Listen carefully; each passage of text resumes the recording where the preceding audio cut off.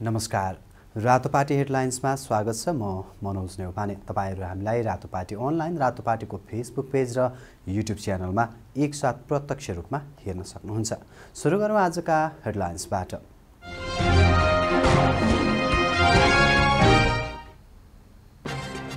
जेठ महिनाभित्र स्थानीय तहको निर्वाचन गर्न सरकारलाई सत्तारूढ गठबन्धनको सुझाव। निर्वाचन आयोगसँग छलफल गरेर चुनावको मिति तोक्ने तयारी। स्थानीय तहको निर्वाचन वैशाखमै भए पनि सामना गर्न तयार रहेको नेकपा यसका अध्यक्ष नेपालको भनाई चुनावसम्म सत्तारूढ गठबन्धन कायम रहने दावी। श्रम क्षेत्रको व्यवस्थापन गर्न आफू गम्भीर भएर लागि परेको श्रम मन्त्री श्रेष्ठको भनाई छिट्टै सङ्घीय प्रदेश र स्थानीय सेवा ऐन ल्याउन सरकार लागि परेको उल्लेख। चौबिस घन्टामा देशभर थप चार हजार नौ सय बढीमा सङ्क्रमण पुष्टि हुँदा निको सङ्ख्या छ हजार नजिक खोप लगाउनेको सङ्ख्या एक करोड चालिस लाख मात्र। र पहिलो मैत्रीपूर्ण खेलमा अफ्रिकी राष्ट्र मरिससमाथि नेपालको एक शून्यको जित दोस्रो मैत्रीपूर्ण खेल मङ्गलबार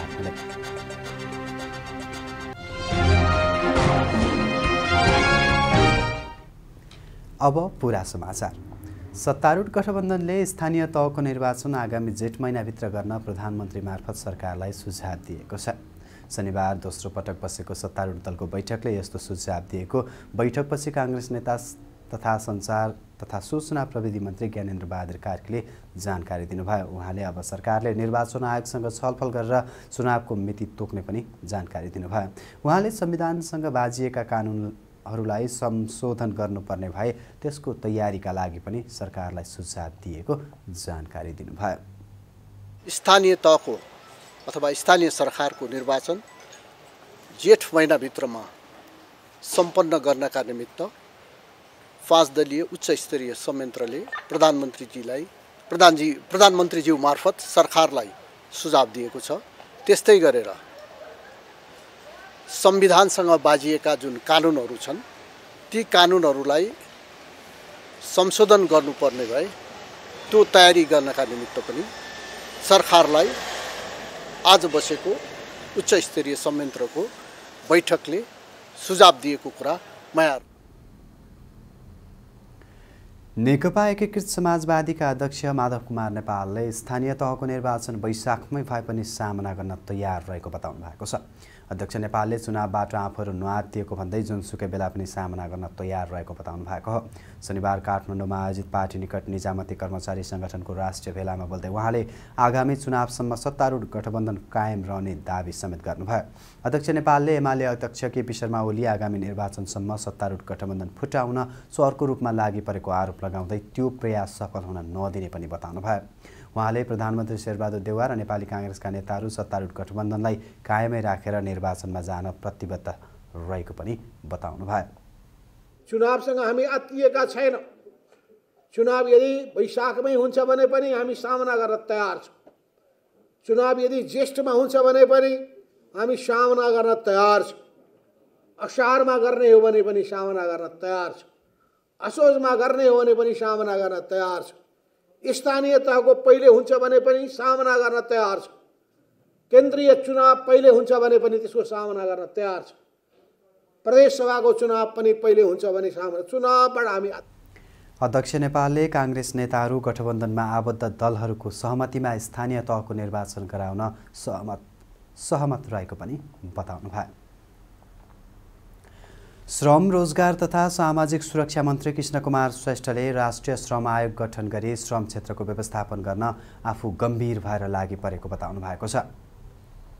मन्त्री श्रेष्ठले रोजगारदाता र श्रमिकहरू बीचको सम्बन्धलाई सुमधुर बनाउन विद्यमान कानुन संशोधन गरी अघि बढ्ने प्रतिबद्धता समेत व्यक्त गर्नुभयो। नेकपा एकीकृत समाजवादी निकट निजामती कर्मचारी सङ्गठनले शनिबार काठमाडौँमा आयोजना गरेको एक कार्यक्रममा बोल्दै उहाँले अस्थायी ज्यालादारी र करारमा रहेका कर्मचारीहरूको समस्या समाधान हुने गरी उनीहरूको सामाजिक सुरक्षा कोषमा आबद्धताका लागि आफूले काम गरिरहेको पनि बताउनुभयो।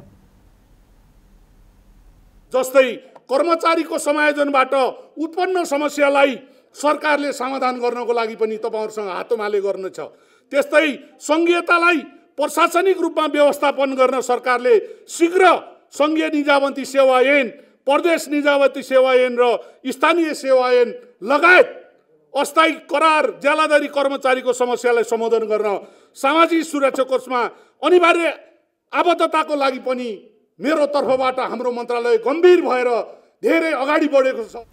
त्यस अवसरमा मन्त्री श्रेष्ठले कर्मचारीहरूको समायोजनपछि उत्पन्न समस्या समाधान गर्ने लगायतका कामका लागि सरकारले छिट्टै सङ्घीय निजामती सेवा ऐन प्रदेश निजामती सेवा ऐन र स्थानीय सेवा ऐन ल्याउन लागेको पनि बताउनुभयो। राजनीतिक अन्यलता र कोरोना महामारीका बीच प्रतिनिधि सभाको बैठक माघ सोह्र गते अर्थात् भोलि आइतबार बस्दैछ। पुस सात गते यता बस्न नसकेको बैठक माघ सोह्र गते दिउँसो एक बजेका लागि तय भएको हो। यसअघि पुस अठारका लागि राखिएको बैठक माओवादी केन्द्रको राष्ट्रिय सम्मेलनका कारण स्थगित भएको थियो भने पुस बाइस गते नेकपा एमालेको बैठकका कारण बस्न सकेको थिएन।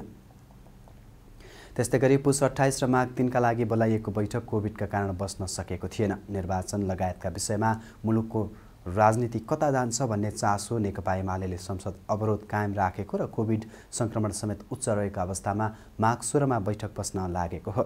आइतबार बस्ने प्रतिनिधि सभा बैठकको एजेन्डा के हुने र अर्को बैठक कहिले बस्ने भन्ने विषयमा छलफल गर्न भने आइतबार बिहान एघार बजे कार्यव्यवस्था परामर्श समितिको बैठक बोलाएको सभामुख अग्नि सापकोटाका प्रेस संयोजक श्रीधर नेउपानेले जानकारी दिनुभयो। उहाँका अनुसार संसदको एजेन्डा तय गर्न नयाँ बानेश्वर स्थित संसद भवनको शङ्कर हलमा परामर्श समितिको बैठक डाकिएको हो। प्रधानमन्त्री तथा मन्त्री परिषद कार्यालयका राज्यमन्त्री उमेश श्रेष्ठले सरकारले शिक्षा क्षेत्रमा लगानी बढाउने गरी कानुनी व्यवस्था गर्न लागेको बताउनु भएको छ। राज्यमन्त्री श्रेष्ठले सरकारले विद्यालय तह प्राविधिक शिक्षालय र उच्च शिक्षाको छुट्टा छुट्टै कानुन बनाउन लागेको उल्लेख गर्दै ती कानुनहरू बनेपछि शिक्षा क्षेत्रमा लगानी गर्ने वातावरण अझ बढी बन्ने बताउनु भएको हो। शनिबार काठमाडौँको सानो भर्याङस्थित स्वस्तिश्री गुरुकुल विद्यालयले आयोजना गरेको एक कार्यक्रमलाई भर्चुअल माध्यमबाट सम्बोधन गर्दै उहाँले शिक्षा क्षेत्र र स्वास्थ्य क्षेत्रमा सबैको पहुँच पुर्याउने काममा सरकार लागि परेको बताउनुभयो तिनवटा कोर्सहरू चाहिँ तिनवटा कानुन बन्दैछ एउटा स्कुल लेभलको कानुन एउटा चाहिँ अर्को हाम्रो टेक्निकल भोकेसनल टेस्टको कानुन र एउटा हायर एजुकेसनको कानुनहरू बन्छ। त्यो बनिसकेपछि चाहिँ अलिकति प्राइभेट सेक्टरले पनि लगानी गर्न सक्ने वातावरण पनि हुन्छ। त्यो कुरोको अपेक्षा गरौँ। र जहाँसम्म लाग्छ म तपाईँलाई आश्वस्त गर्न चाहन्छु तपाईँको कार्यक्रम सफल होस् राम्रो होस्। शुभकामना दिन चाहन्छु। राज्यमन्त्री श्रेष्ठले शिक्षा क्षेत्रका विकासमा अझ सक्रियताका साथ लाग्न पनि निजी क्षेत्रका लगानीकर्ताहरूलाई आह्वान गर्नुभयो। कार्यक्रममा विद्यालय सञ्चालक समितिका अध्यक्ष रामकृष्ण चित्रकारले विद्यालयको शैक्षिक क्रियाकलापका बारेमा जानकारी गराउनु भएको थियो। समाचारमा अब एकैछिन ब्रेकको पालो। अल्का आइभीएफ सेन्टर सुलभ दरमा उच्च स्तरीय सेवा सन्तान प्राप्तिको सार ब्रेकपछि पुनः स्वागत छ अब बाँकी समाचार। कानुनविदहरूले वैशाखभित्रै स्थानीय तहको निर्वाचन सम्पन्न गरिसक्नुपर्ने कानुनी व्यवस्था रहेको औल्याएका छन्। कानुनविद टिकाराम भट्टराई र सुनिल पोखरेलले स्थानीय तहका जनप्रतिनिधिहरूको कार्यकाल पाँच वर्ष हुने कुरा संविधानमै व्यवस्था गरेकाले स्थानीय तहको निर्वाचन पर धकेल्ने काम गर्न नहुने तर्क गर्नुभएको हो। एमाले निकट पत्रकारहरूको सङ्गठन प्रेस चौतारी नेपालले शनिबार काठमाडौँमा आयोजना गरेको एक अन्तर्क्रिया कार्यक्रममा बोल्दै नेपाल बार एसोसिएसनका पूर्व उपाध्यक्ष समेत रहनुभएका भट्टराईले पहिलो चरणमा सम्पन्न भएको निर्वाचनलाई आधार मानेर स्थानीय तहको निर्वाचन हुने अन्तर्राष्ट्रिय मान्यता रहेको पनि स्मरण गराउनुभयो। उहाँले स्थानीय तह पदाधिकारी विहीन हुने परिकल्पना संविधानले नगरेको पनि स्पष्ट पार्नुभयो। पहिलोचोटि भएको निर्वाचनलाई आधार मानेर कार्यकालको गणना हुनेछ भन्यो। संविधानले सङ्घीय कानुन बनाउने बाँकी कुरा हुन्छ भनौँ। सङ्घीय कानुनले चरणको त्यसरी परिभाषा गरो। त्यसो भएको हुनाले पहिलो चरणमा भएको निर्वाचनबाट नै कार्यकाल प्रारम्भ हुन्छ। हामी कहाँ मात्रै होइन। यो चरणबद्ध निर्वाचन हुने कुरा विश्वका धेरै मुलुकहरूमा छ। सबभन्दा नजिकै हामीले जानेको यसभन्दा अगाडिको लोकसभाको इन्डियाको निर्वाचन नौ चरण मलाई लाग्छ। नौ चरणमा भएको थियो। तर त्यहाँ पनि पहिलो चरणमा जुन भयो त्यहीबाट नै कार्यकाल प्रारम्भ हुन्छ। कानुन र संविधानले जब स्पष्ट व्यवस्था गरेको छ र अभ्यास तदनुकूलको छ भने त्यसको व्याख्या पनि तदनुकूलकै हुनुपर्दछ। यस्तै नेपाल बार एसोसिएसनका पूर्व महासचिव पोखरेलले जेठ पाँच गतेभित्र स्थानीय तहको निर्वाचन सम्पन्न हुनुपर्ने संविधानमा किटाणी व्यवस्था भएको बताउनुभयो। उहाँले स्थानीय तहको निर्वाचन समयमै नभए स्थानीय तह जनप्रतिनिधिविहीन हुने अवस्था आउनेतर्फ पनि सचेत गराउनुभयो। तपाईँ पाँच वर्षमा चुनाव गर्नुपर्छ भनिसकेपछि त्यसलाई साढे पाँच वर्ष अथवा छ वर्ष पुर्याउनु पर्नाको कारण के हुन्छ? नम्बर वान नम्बर टू एउटा आर्गुमेन्ट आएको के छ भने कसैको जेठमा भएको छ कसैको असोजमा भएको छ। जेठमा गर्दाखेरि त्यसको त पाँच वर्ष पुग्दैन नि। भनेपछि सिम्पल यसको लागि पनि सिम्पल हामीले ऐनमा व्यवस्था गऱ्यौँ पहिलो निर्वाचित मालालाई नै हामीले मान्नुपर्छ त्यहीँबाट पदावधि गरिन्छ भनेर। त्यो पनि एकछिनको लागि छोडिदिउँ। सिम्पल के हो भन्दाखेरि भने चार वर्ष तपाईँले काम गर्ने हो पाँचौँ वर्ष भनेको इलेक्सनको इयर हो। पाँचौँ वर्ष भनेको चुनावको वर्ष हो। फेरि हामी जस्तो देशमा तपाईँसँग दुईवटा मात्रै टाइम हुन्छ चुनाव गर्ने। एउटा वैशाख जेठ। असार लागेपछि बर्खा लाग्छ खेतीपातीको मौसम हुन्छ चुनाव हुँदैन। अर्को भनेको कार्तिकको अन्तिम मङ्सिरको सुरुवातमा हुन्छ। हाम्रो जस्तो देशमा है अरू बेलामा चुनाव गर्न गाह्रो पर्छ। महासचिव पोखरेलले दलहरूले संविधान र कानुन विपरीत भएर स्थानीय तहको निर्वाचन सार्न नमिल्ने पनि प्रश्न पार्नुभयो। विगत चौबिस घन्टामा देशभर थप चार हजार नौ सय चारजनामा कोरोना सङ्क्रमण पुष्टि भएको छ। चौध हजार पाँच सय बैसठीजनाको कोरोना। कोरोना परीक्षण गर्दा पिसिआर विधिबाट तिन हजार तिन सय अठार तथा एन्टिजेन विधिबाट एक हजार पाँच सय छ्यासीजनामा सङ्क्रमण पुष्टि भएको स्वास्थ्य तथा जनसङ्ख्या मन्त्रालयले जनाएको छ। यही अवधिमा थप पाँच हजार नौ सय चौबिसजना सङ्क्रमणमुक्त भएका छन्। तेस्रो लहर सुरु भए ता पहिलोपटक सङ्क्रमितको सङ्ख्याभन्दा निको हुनेको सङ्ख्या बढी भएको हो। हालसम्म नेपालमा कुल सङ्क्रमितमध्ये आठ लाख अडचालिस हजार तिन सय साठीजना सङ्क्रमणमुक्त भइसकेका छन्। नेपालमा निको हुने दर उनानब्बे दशमलव पाँच प्रतिशत रहेको छ।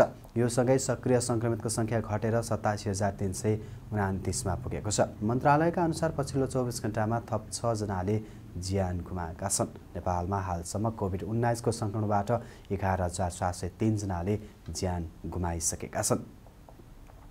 मन्त्रालयका अनुसार थप दुई लाख बहत्तर हजार सात सय अडचालिसजनाले कोभिड उन्नाइस विरुद्धको खोप पनि लगाएका छन्। हालसम्म एक करोड पैँसठी लाख सत्ताइस हजार सात सय एकचालिसजनाले पहिलो मात्रा एक करोड चालिस लाख पन्ध्र हजार तिन सय चौबिसजनाले दोस्रो मात्रा र तिन लाख तेत्तिस हजार आठ सय पैँतिसजनाले अतिरिक्त मात्रा खोप लगाइसकेका छन्। समाचारमा अब खेल प्रसङ्ग। नेपाली राष्ट्रिय फुटबल टिमले पहिलो मैत्रीपूर्ण खेलमा अफ्रिकी राष्ट्र मरिससलाई पराजित गरेको छ। शनिबार भएको पहिलो मैत्रीपूर्ण खेलमा नेपालले मरिससलाई एक शून्य गोल अन्तरले पराजित गरेको हो। त्रिपुरेश्वर स्थित दशरथ रङ्गशालामा नेपाललाई जित दिलाउन विमल घाटी मगरले निर्णायक गोल गरे। बिमा विमलले खेलको पचपन्नौ मिनटमा निर्णायक गोल गरेका हुन्। एक वर्षपछि टिममा पुनरागमन गरेका विमलले पहिलो खेलमै गोल गरेका हुन्। अञ्जन विष्टको लामो पासमा विमलले प्रहार गरेको बलले पोस्टमा लाग्दै जाली चुमेको थियो। नेपालका लागि विमलको यो नवौँ गोल हो। यसअघि उनले सन् दुई हजार अठारमा ढाकामा बङ्गलादेश विरुद्ध साफ च्याम्पियनसिपमा पछिल्लो पटक गोल गरेका थिए। नेपालले पहिलोपटक आधिकारिक रूपमा अफ्रिकी राष्ट्रसँग खेलेको हो। आजको खेलमा मिडफिल्डर सुदीप गुरुङ र आकाश बुढा मगरले अन्तर्राष्ट्रिय खेलमा डेब्यू पनि गरेका छन्। गत अक्टोबर सोह्रमा भारत विरुद्धको फाइनल खेल खेलेपछि नेपाली टिम पहिलोपटक पहिलोपटक मैदान उत्रिएको हो भने मोरिसस भने दुई वर्षपछि अन्तर्राष्ट्रिय खेलका लागि उत्रिएको हो। अब नेपालले मोरिसस विरुद्धको दोस्रो मैत्रीपूर्ण खेल मङ्गलबार खेल्नेछ। फुटबलकै अर्को प्रसङ्गमा शनिबार नै पोखरा रङ्गशालामा सम्पन्न आहार आहार रारा गोल्ड कप फुटबलको उपाधि विभागीय टिम एपिएफले जितेको छ।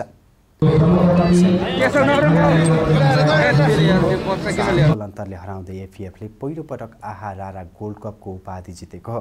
निर्धारित र अतिरिक्त समयको खेल दुई दुई गोलको बराबरीमा सकिएपछि निर्णायक ट्राइबेकरका आधारमा गरिएको थियो। पेनाल्टी सुट आउटमा ओलावाले अफिज असफल भएपछि छ पटकको च्याम्पियन मनाङ उपाधिबाट वञ्चित बन्यो। उनको प्रहारलाई एपिएफका कोरियन गोलकिपर युया कोरियामाले रोकेका थिए। रातोपाटी हेडलाइन्स आजलाई सकिएको छ। अन्त्यमा आजका हेडलाइन्स पुनः एकपटक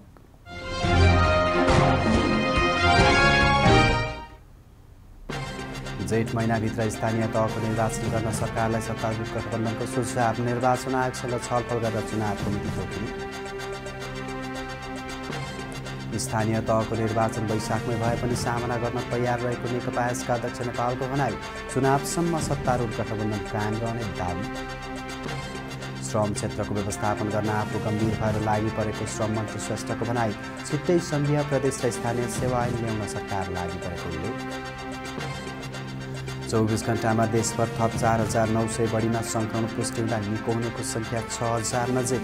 खोप लगाउनेको सङ्ख्या एक करोड चालिस लाख माथि। र पहिलो मैत्रीपूर्ण खेलमा अफ्रिकी राष्ट्र मरिससमाथि नेपालको एक शून्यको जित दोस्रो मैत्रीपूर्ण खेल मङ्गलबार